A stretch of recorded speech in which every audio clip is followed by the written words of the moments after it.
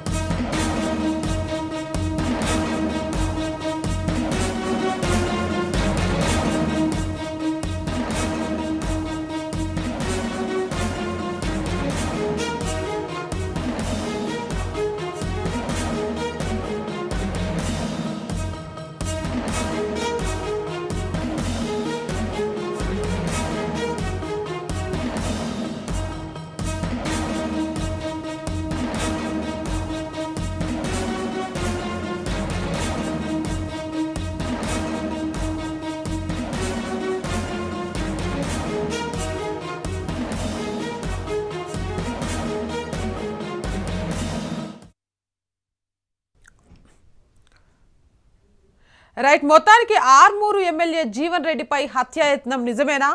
ఆర్మూరు అలజడికి అసలు కారకులు ఎవరు? హత్యాయత్నం కేసులో మాజీ సర్పంచ్ భర్త అరెస్ట్ అయ్యారు.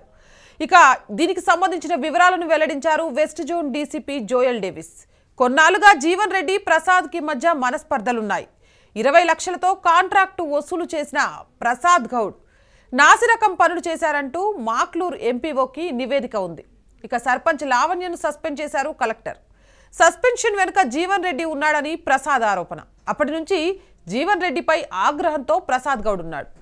సస్పెన్షన్పై జీవన్ రెడ్డితో మాట్లాడేందుకు వెళ్ళారు ప్రసాద్. ప్రసాద్పై మర్డర్ కేసు మోపారు టీఆర్ఎస్ ఎమ్మెల్యే జీవన్ రెడ్డి. జీవన్ రెడ్డి కుట్రలో భాగంగానే డీసీపీ జోయల్ ప్రెస్ మీట్ పెట్టారు. కత్తి కొనేందుకు నాందేడ్ వెళ్ళాడని చెప్పారు డీసీపీ జోయల్. నాంపల్లిలో ఎయిర్ పిస్టల్ కొన్నాడని జోయల్ చెప్పారు. బీహార్ నుంచి నాటు తుపాకీ తెప్పించుకున్నారన్నారు ప్రసాద్ గౌడ్. బుల్లెట్స్ లేకుండానే జీవన్ రెడ్డి ఇంటికి వెళ్ళాడు ప్రసాద్ గౌడ్.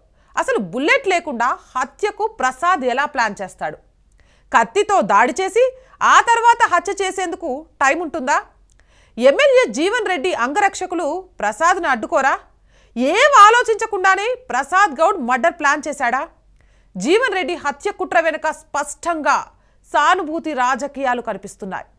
ఓటమి భయంతోనే సానుభూతి రాజకీయాలు చేస్తారా? ప్రజా వ్యతిరేకతను దారి మళ్ళించే ప్లాన్లో భాగమేనా ఇదంతా? గులాబీ నేతలపైనే హత్య కుట్రలు ఎందుకు వస్తున్నాయి మొన్నటికి మొన్న మంత్రి శ్రీనివాస్ గౌడ్ ఇక నిన్న ఎమ్మెల్యే జీవన్ రెడ్డి. ఇలా వరుసగా గులాబీ నేతలపై హత్యాయత్నాలు ఎందుకు జరుగుతున్నాయి? టీఆర్ఎస్ నేతలే టార్గెట్గా హత్యకు ప్రణాళికలు వేస్తున్నారా?